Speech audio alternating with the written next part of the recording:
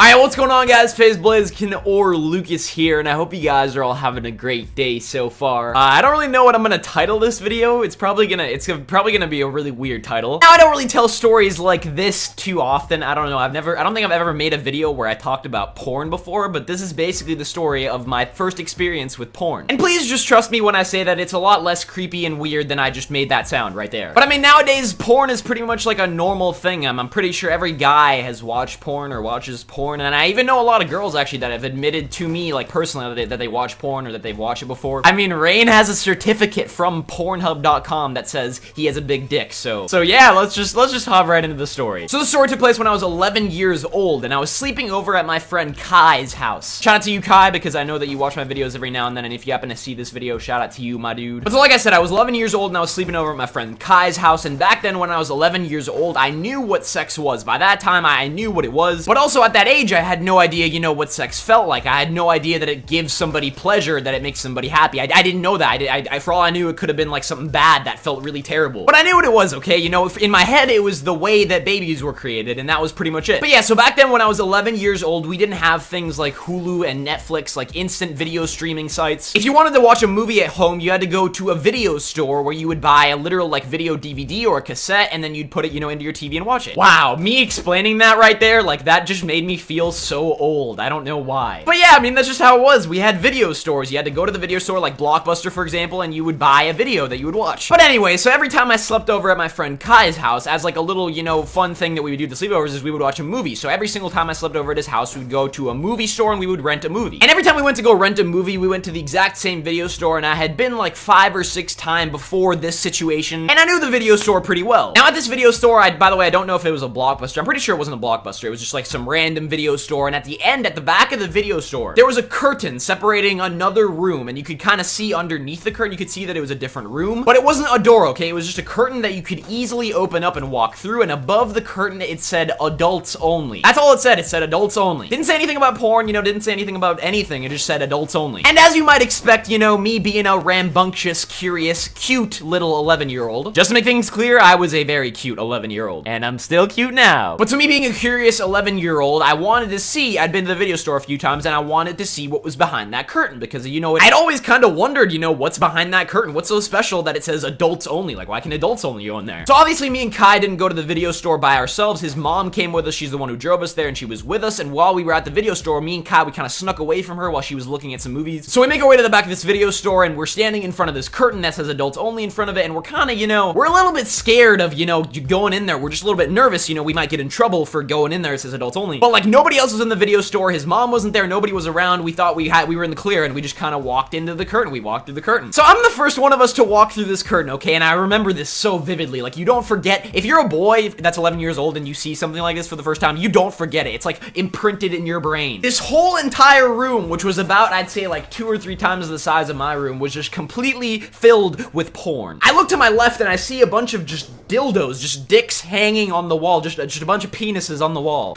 and on the other side of the store, there was a bunch of lingerie and like posters and calendars of like naked women and all this, all this crazy shit. It was like a legit adult video store. It was crazy. Like being an 11 year old boy, seeing that adults only sign, that was literally like the last thing that I expected to be up there. I don't remember what I thought I was gonna see when I walked through that curtain. Like maybe I was thinking I would see guns or something that adults would only use, but never this much boobs, booty, penises, and just naked people all around. Now you'd think this would be like the turning point in my, you know, little 11 year old life where my brain just went from playing on a playground with my friends to boobs.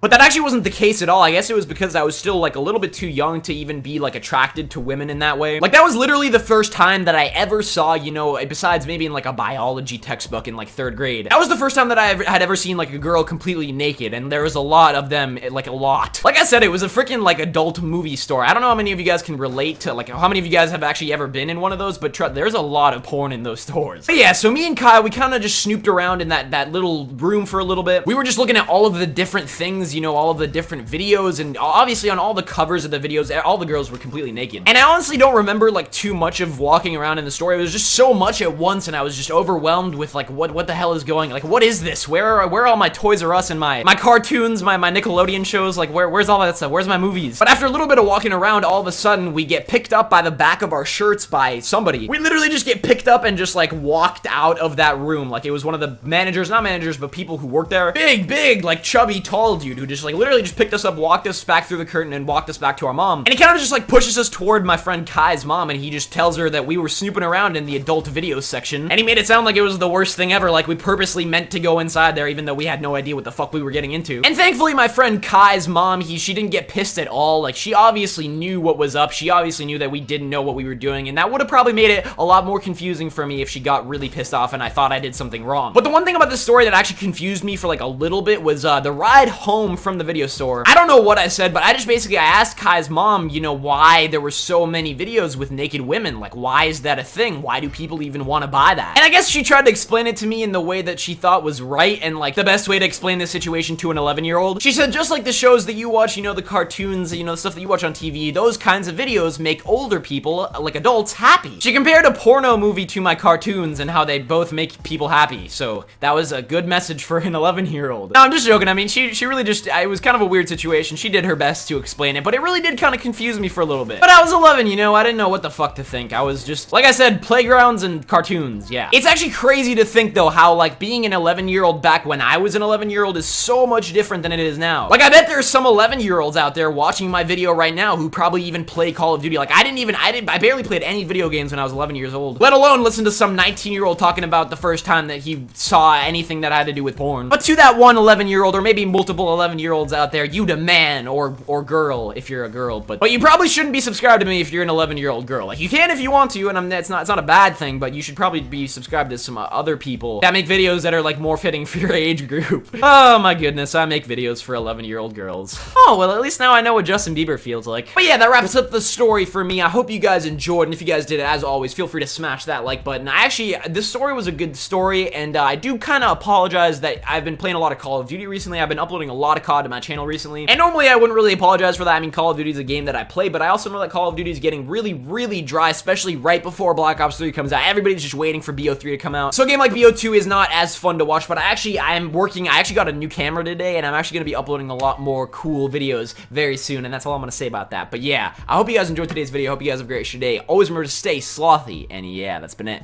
Peace.